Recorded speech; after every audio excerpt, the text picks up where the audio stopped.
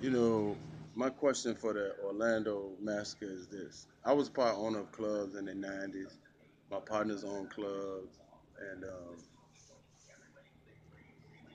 you know, I just been affiliated with clubs. I used to do promotions and all that stuff, uh, bring people to Richmond. And my thing is this I've seen people get in the clubs with handguns. You know, that's, that's a given. And knives. But, bruh, AR 15, that joint got to be three to four feet long. How in the world a man get in a club with a three to four foot rifle that he got? He can't put it on his pants. How he get in that club with that gun? And he, he don't even own it. Like he ain't even with the team that own it. There's something different. He coming in the back door performing. But one thing they ain't talking about is how that man got that gun in the club in the first place. You taking a gun in a, a, a, a loaded uh, building full of people drunk and alcohol everywhere.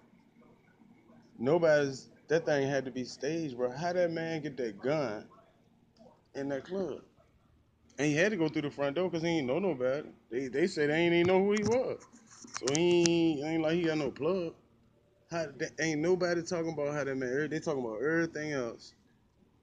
But they not saying how he got that three foot rifle and that 45 in a nightclub. Man, all nightclubs pat you down, man. Cause it's alcohol in there. They got to.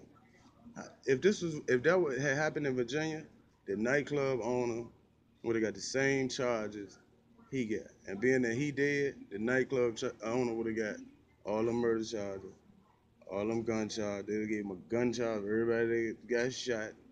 Um, either got malicious wounding or attempted murder for everybody that got shot. Got the murder charges for all them people. He got the murder charges for dude, because they would have told him, dude wouldn't be dead or been in here shooting nobody if you ain't let him in with that gun. And they would have fried the club on. You ain't even heard shit about the club on. And you ain't heard nothing about the security. And you definitely ain't heard nothing about how that nigga got that motherfucking gun in there.